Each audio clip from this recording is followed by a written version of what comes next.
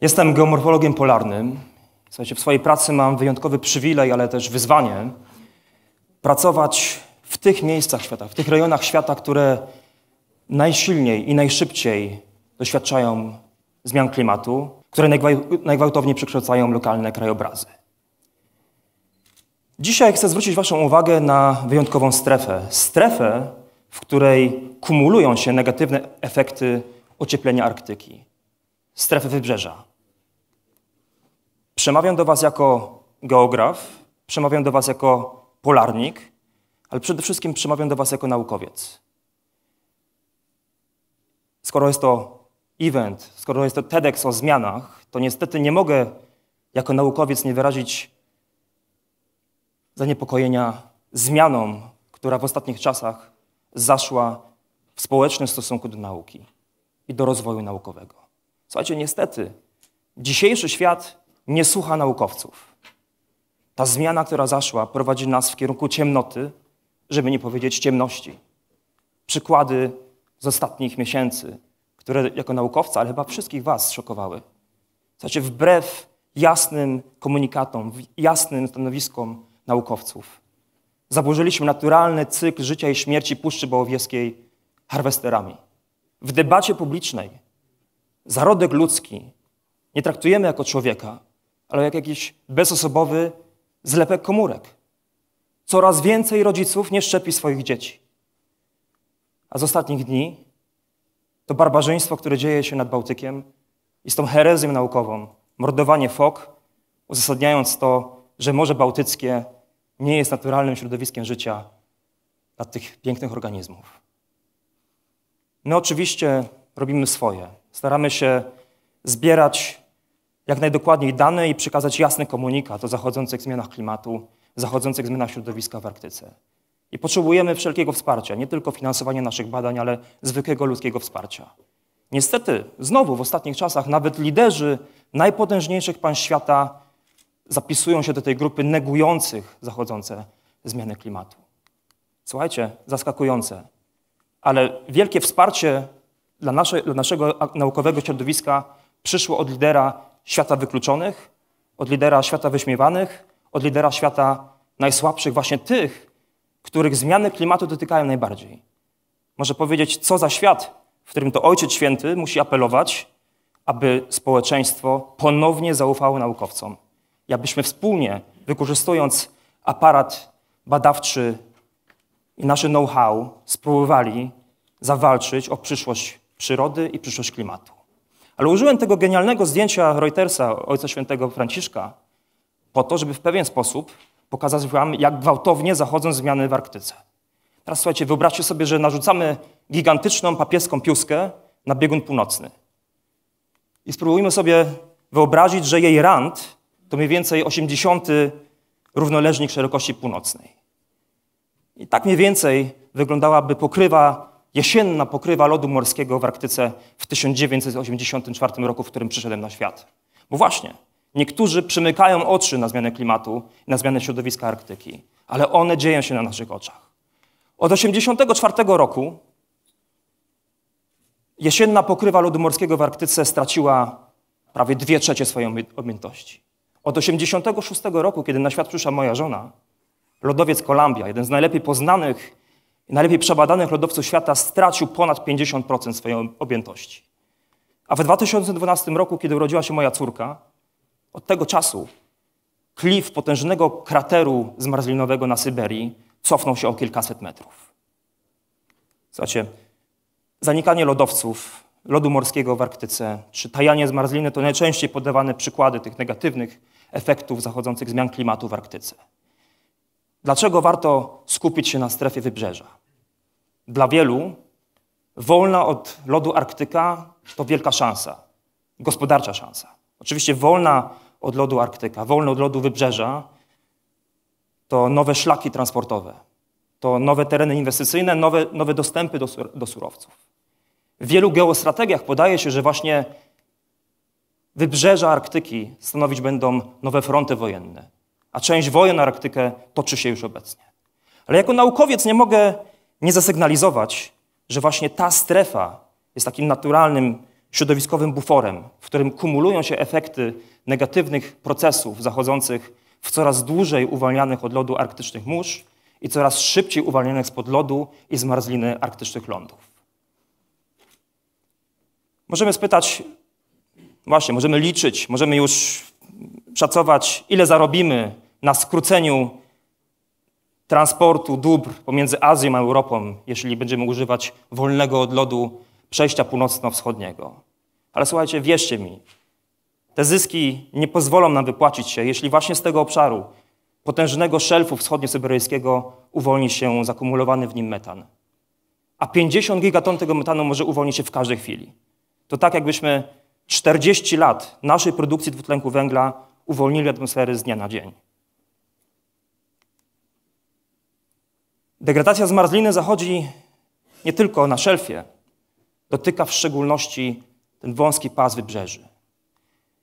Tajenie zmarzliny doprowadza do przyspieszenia erozji. Te wybrzeża cofają się po kilkadziesiąt metrów w ciągu jednego roku i uwalniają całkiem spore ilości osadów i materii organicznej, które dostają się do strefy przybrzeżnej i zaburzają wrażliwe procesy ekologiczne i sedymentologiczne w wodach przybrzeżnych. Co więcej, te coraz krócej chronione przez lód wybrzeża uderzane są przez coraz silniejsze i coraz częściej wkraczające do Arktyki sztormy. Dlatego dziesiątki osad arktycznych od ładnych paru lat przegrywa tą walkę z potęgą erozji, która zagraża bezpośrednio nie tylko infrastrukturze tych osad, ale życiu mieszkańców. Słuchajcie, możemy spytać, na ile dobrze rozumiemy te systemy. W niektórych regionach Arktyki całkiem sporo. Jak spojrzycie na tę mapę, to widać, że większość badań i, i większość danych pochodzi z wybrzeży kanadyjskich, alaskańskich czy syberyjskich. Jednak jeśli chodzi o tą wciąż zlodowaconą część Arktyki, czyli takie wyspy jak Svalbard, Grenlandia, czy kanadyjski archipelag arktyczny, jak widzicie, wciąż funkcjonują tam białe plamy w naukowym poznaniu. To, co interesuje zespoły, w których pracuję, to właśnie przyjrzenie się transformacji krajobrazu, która potęgowana jest, przyspieszana jest przez ocieplenie klimatu na takich wyspach jak Spitsbergen w wysokiej Arktyce. I to, co badamy, to próbujemy zrozumieć, jak te, jak te tereny, które zostały uwolnione przez lodowce w ostatnim wieku, przez lokalne rzeki, procesy stokowe, lokalne wiatry, uwalniają osady i jak te osady dalej trafiają do strefy brzegowej, jak są wykorzystywane w strefie wybrzeża, przechowywane w postaci nowych form i co dalej dzieje się z nimi, kiedy erozja czy y, procesy morskie próbują te osady przerzucić w głąb fiordu. I skupmy się właśnie na Spitsbergenie. On tradycyjnie jest miejscem polskich badań polarnych, ale jeśli chodzi o nowoczesne badania wybrzeża, to ten prym wiedli Francuzi. I, i nie wiem, czy, czy, przed laty to faktycznie my uczyliśmy Francuzów jeść widelcem, ale wiem jedno, że to właśnie badania francuskiej szkoły geomorfologicznej były tym impulsem dla polskich zespołów, którzy postanowili przeprowadzić bardziej kompleksowe badania i właściwie na chwilę obecną jesteśmy potentatem w projektach i w obserwacjach zmian strefy brzegowej Spitsbergenu. Jeden z moich ulubionych przykładów tej adaptacji wybrzeża do zmieniającego się klimatu, który ma swój wymiar w postaci recesji lodowców, w tym przypadku uchodzących do morza, jest wybrzeże fiordu Recherche na, w południowo-zachodniej części Spitsbergenu.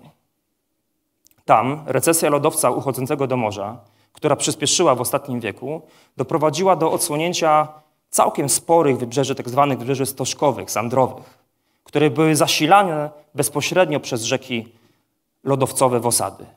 Ale ta recesja lodowca, czy to wycofanie lodowca postępowało, przyspieszyło w latach 80., kiedy ocieplenie Arktyki również nabrało swojej mocy. I co się stało w ostatnich latach? Ten lodowiec wycofał się dalej i pozostawił te wybrzeża bez kroplówki osadowej, bez zasilania w osady. Obecnie między wybrzeżem sandrowym a ścianą klifu lodowego powstała duża laguna, a te wybrzeża pozostawione właśnie bez zasilania osadowego są obecnie intensywnie niszczone przez proces erozji morskiej, ale też wytapianie się brył lodu, które ten lodowiec ten lodowiec pozostawił w niektórych miejscach ich powierzchni. Można powiedzieć, duży lodowiec, duża zmiana. A co w przypadku małych lodowców, tak charakterystycznych dla wielu systemów dolinnych wysokiej Arktyki? Pozwólcie, że posłużę się przykładem lodowca Ferdynanda. Jest to mały lodowiec położony w centralnej części Spitsbergenu. On od początku XX wieku, czyli mniej więcej od okresu, kiedy zakończyła się mała epoka lodowa e, w wysokiej Arktyce, wycofał się o prawie 2 km i stracił 60% swojej powierzchni. Ale nawet taki mały lodowczyk był w stanie pozostawić po sobie i wyprodukować taką ilość osadów, że lokalne rzeki, lokalne stoki, lokalne wiatry potrafiły zbudować z nich pokaźnych rozmiarów stożki i dalej dostarczyć tyle osadów do wybrzeża, że stworzyło one nowe plaże, nowe kosy, nowe laguny, które dzisiaj stanowią nowe oazy życia polarnego. Ostatnie tygodnie przyniosły parę fundamentalnych prac wykonanych przez polskich naukowców polarnych. Przenieśmy się teraz na południowy Spitsbergen. Jest to szczególny rejon, nie tylko dlatego, że tam położona jest polska stacja polarna, ale południowy Spitsbergen, a właściwie systemy lodowców uchodzących do morza położonych na tym terenie, wycofują się w najszybszym tempie w skali całego archipelagu. Chociażby recesja lodowców w fiordzie Hornsund doprowadziła do powstania ponad 85 kilometrów nowych wybrzeży w ostatnim wieku. To właśnie tam, słuchajcie, tworzą się najmłodsze plaże świata. One są dosyć ciekawe, bo nie są zasilane przez prądy wzdłużbrzegowe, ale zasilane są bezpośrednio ze spływów materiału osadowego z klifu lodowego. Znaczy, dzięki naszym badaniom wiemy, że przy obecnym tempie cofania się tych lodowców, południowa część wyspy, zwany Sorka Plant, w 2055 roku, czyli już niedługo, stanie się osobną wyspą. I to powstawanie nowych wysp to nie tylko przyszłość Spitsbergenu. Zespół profesora Ziai z Uniwersytetu Jagiellońskiego skartował już 34 nowe wyspy, które powstają w Arktyce w ostatnich 50 latach, nie wyłaniając się z morza, ale wyłącznie tylko przez proces wytapiania się lodu lodowcowego. Słuchajcie, pozwólcie, że zakończę informacją o ekstremalnych procesach, które przekształcają strefę wybrzeża Arktyki. Wyobraźcie sobie falę, która ma wysokość dwukrotnie przewyższającą Sky Tower wrocławskie.